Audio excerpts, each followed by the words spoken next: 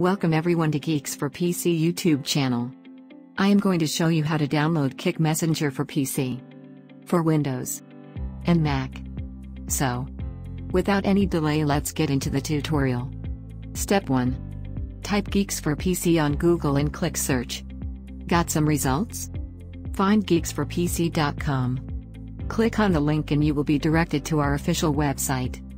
So, here is our official website. Here you will find apps and games from different types of categories and their guides on how to install them on your PC. And you will find a huge collection of best apps and games for PC.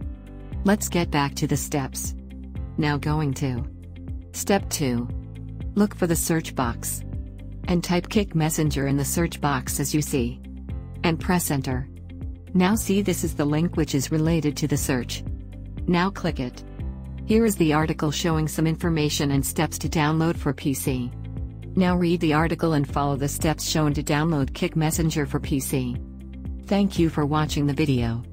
If you found it helpful please give us a like. Comment down below if you get any confusion or problem we will be happy to assist you. And do subscribe us for more tech videos.